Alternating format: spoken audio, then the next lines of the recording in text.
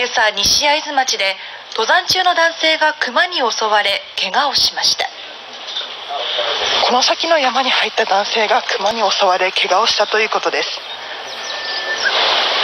被害があったのは西会津町にある肘よ高山の山道で今日午前8時ごろ会津番下町に住む男性から熊に襲われたと消防に通報がありました。